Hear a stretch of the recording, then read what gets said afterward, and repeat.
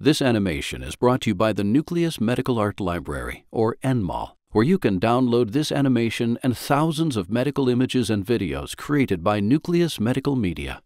To apply for a free 30 day trial, click on the link in the description.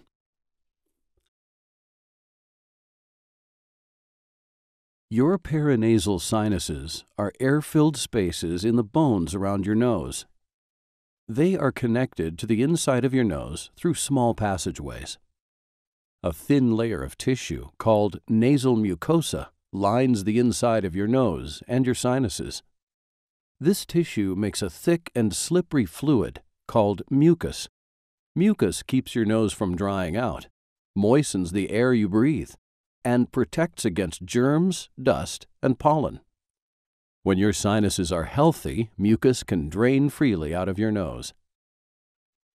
Sometimes your mucosa may become swollen and inflamed, causing your sinuses to be blocked. The blockage can trap mucus inside your sinuses. If this condition lasts more than three months, it's called chronic sinusitis. If medication or other treatments aren't helping, your healthcare provider may advise you to have surgery. Endoscopic sinus surgery is the most common procedure for chronic sinusitis. To start, the surgeon will insert a camera on the end of a thin tool, called an endoscope, into your nose.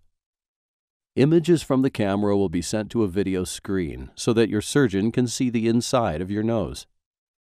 Then your surgeon will look for and remove anything that blocks the opening to your sinuses.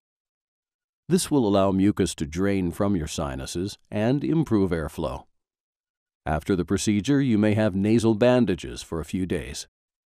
Your healthcare provider will ask you to use a saline rinse to help you recover. Talk to your healthcare provider to find out more about endoscopic sinus surgery.